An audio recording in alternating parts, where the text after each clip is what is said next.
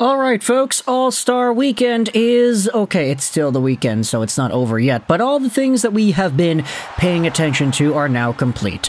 The All Star games and competitions have wrapped up. Big shout out over to Team Matthews and Justin Bieber for taking the dub. Matthews got the All Star MVP award, which is great to see in his hometown Maple Leafs garden.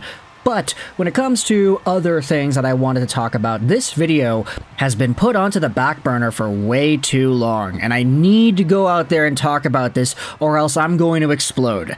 Let's talk about the newest Vancouver Canuck, Elias Lindholm, or is it Elias Lindholm? It's Elias, excuse me. Elias is for Pettersson. Yeah, they're different, right? Elias Lindholm is a Vancouver Canuck, and I wanted to get into the debate that people have been bringing up as to whether or not Lindholm is going to re sign with Vancouver and whether or not that means anything. Because I think it's common knowledge at this point, but Elias Lindholm is an expiring contract. He's making $4.85 million a year till the end of this season, and as a guy who is 29 years old, you could very well debate that he may be in a price tag range that sees him not being able to re sign with Vancouver.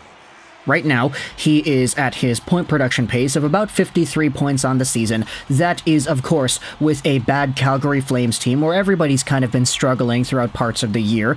At his peak, Lindholm playing with Gaudreau and Tkachuk, centering that line, posted up a point per game year 82 points in 82 games, 42 goals, and 40 assists in 2021 2022. Lindholm at this time frame was very good, and you could see that the contract he was on, 4.85 mil, was a huge steal. So, heading into this year's free agency period, you could very well debate that if there's a time for Lindholm to get his money, get his bag, get his dues, it is now. But unfortunately, it's coming in the midst of a year where he is admittedly on the decline statistically. Maybe it's by no fault of his own, maybe it's because of just the team he is on. You could debate that within yourselves in the comments section below. But, long story short, there has been this idea that's floated around debating whether or not Elias Lindholm could get something in the 7 $8 million AAV range should he become a free agent and enter the open market in July. He's a versatile two-way center. He can play on the wing. He can win face-offs on the penalty kill. He is a right-handed guy, which actually does help in negotiations. And he's pretty skilled, pretty nifty, and he can score goals.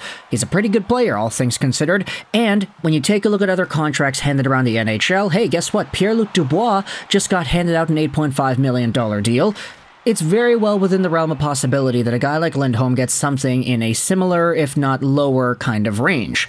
So, if the Vancouver Canucks are the team now, which will house Lindholm till the end of the season, is there a chance they re sign him? Well, let's get into some of the arguments and some of the other things that we could talk about as well. This is an opening idea that I wanted to bring up to start everything off because after Lindholm got traded, you had yourselves the interviews done where he actually talks about the idea of him signing a contract extension in Calgary. He said, I was always willing to stay in Calgary. And you then look at some of the Flames fans responding to this idea. I don't think the Flames were really into the idea of signing another big dollar long term contract for an underperforming aging veteran. Wish him the best in Vancouver and wherever else he ends up. Of course, underperforming aging veteran, they're talking about Jonathan Huberdeau. Another comment says, GM Conroy ain't taking any chances after Johnny Gaudreau, buddy. No contract signed by the deadline, and we're not winning crap right now. So, you're gone. Especially for that haul. So it's apparent for a lot of Flames fans that they're kind of okay with the idea of not extending Lindholm considering the status of their team and their experience with signing older, aging guys who have been underperforming already in the past few years. Now, when you go over to the Vancouver point of view, I wanted to open this conversation up with a post made by Elias Lindholm's wife on Instagram. She posted a Q&A the other day, and the story, which was screenshotted and posted onto the Arcanucks sub, goes out there and translates the Swedish text. Lindholm's wife said this a few days ago, so many questions about the trade and how it is with moving, etc., etc.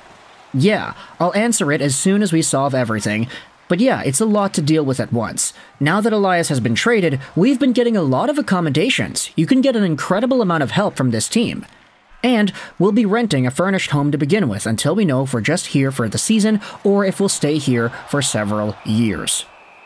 So, good to see that the NHL club is going out there and providing accommodation for the team. This is not new. Like, we have seen that there is like a few suites right by Rogers Arena where players that are call ups or players that are only here for a short amount of time end up staying.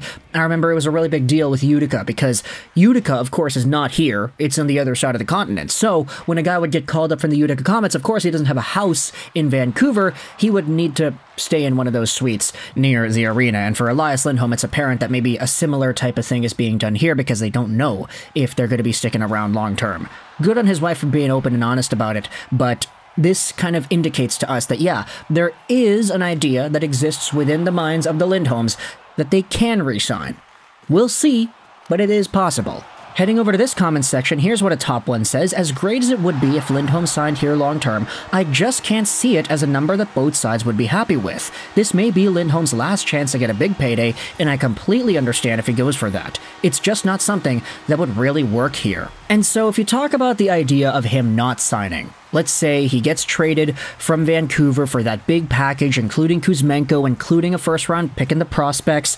If Elias Lindholm does not re sign, honestly, I'm kind of okay with it. I'm okay with the trade that sent him over. I don't think this was one of those things where a lot of other Canucks fans are scared and they say, yeah, this is only a good trade if they re sign him. You don't want to lose out on Kuzmenko, Brzustewicz, Jurmo, a fourth and a first for nothing. And I disagree with that notion. Because if you think about where the Canucks are right now, they are literally the best team in the NHL. They had the most All Stars, most players at the top of the league in scoring, the best defenseman in points, one of the best goal scorers overall this year, multiple of the best assist guys this year, one of the best goaltenders in the NHL. They are literally one of the best teams, if not the best team in the league. If there's not a time for them to go out there and start trying to make a playoff run, is it not now? Way too many people I saw were freaking out about Kuzmenko and that draft pick. Hey, guess what? I love Kuzmenko too, but the guy has not been good this year.